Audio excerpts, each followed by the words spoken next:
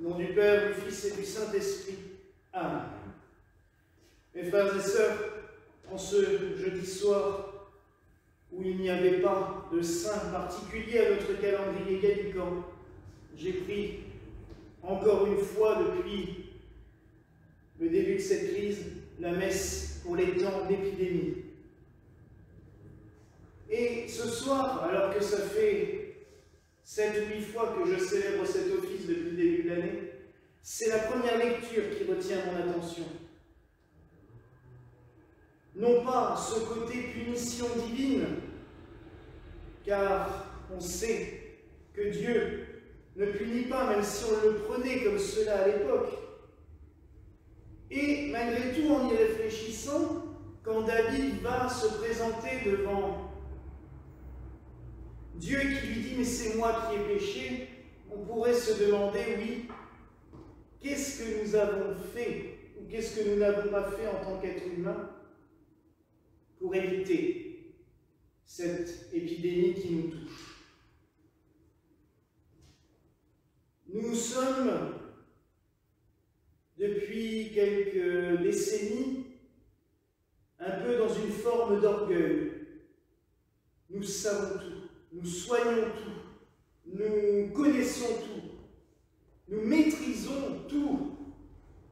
Or, on le voit aussi que des maladies ont surgi depuis le début des années 70-80 et on ne sait pas les gérer. On sait les atténuer, on sait les éviter tant bien que mal, mais on ne les soigne pas. Là, nous sommes face à une épidémie où l'on nous dit qu'on ne sait pas encore exactement comment l'empêcher.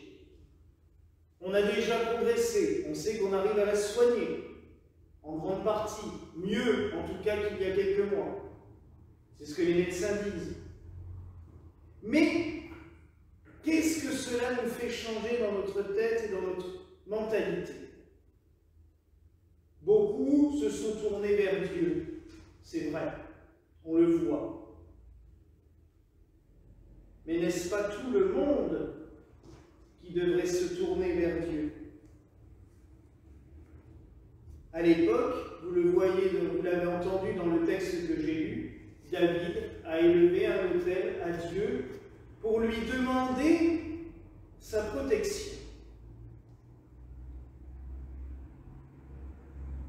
Dieu le lui a Alors c'est un texte dont je ne me souvenais plus tellement, et pourtant il m'a marqué il y a un ou deux ans, parce qu'il a servi de trame de fond à un épisode d'une série télé.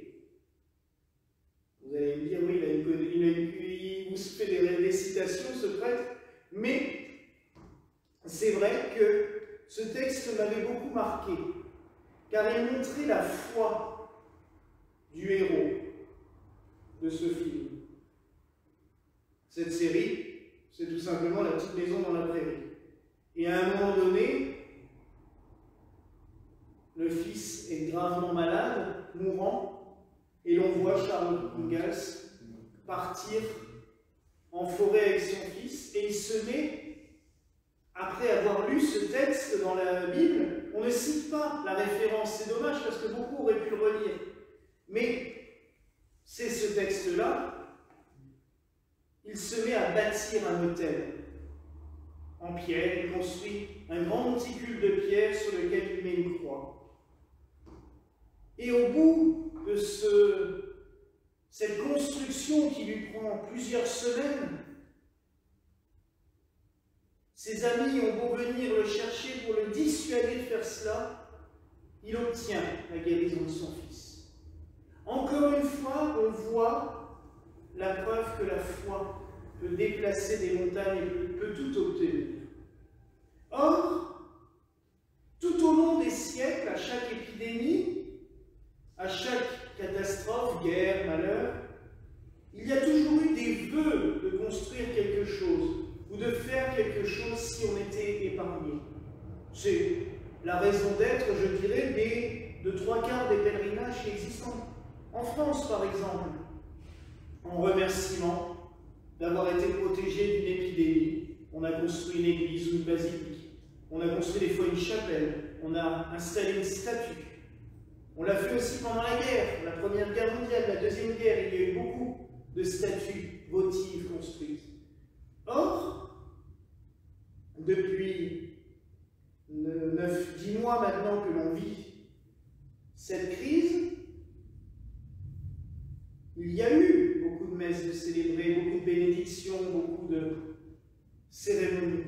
Mais on n'a pas encore, à ce jour, entendu de communautés religieuses ou de groupes de personnes se dire faisons quelque chose de concret pour demander à Dieu sa protection et sa bénédiction.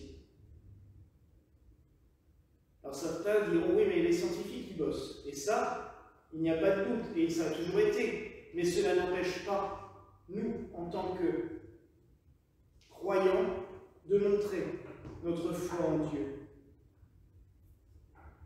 Alors pourquoi ne pas tout simplement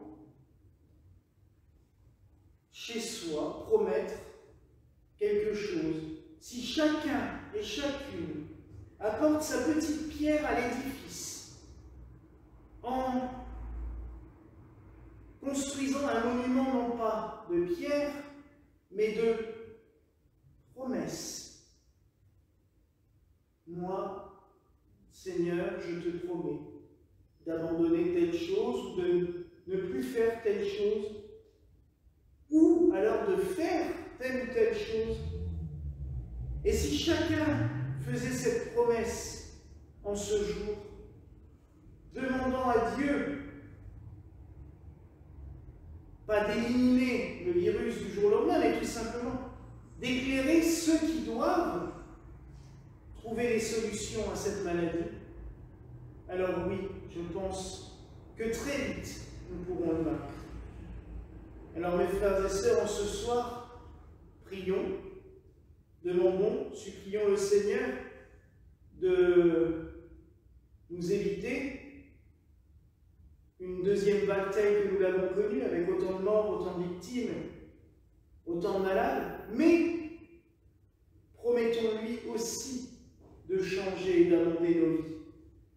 Car à quoi cela sert de guérir?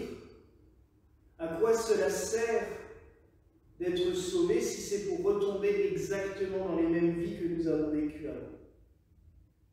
Cette période, je vous l'ai déjà dit souvent, doit être prise comme une période de, de réflexion, une période de méditation, une période de retour sur soi-même, de retour en nous-mêmes pour avancer, pour mieux évoluer, pour mieux grandir.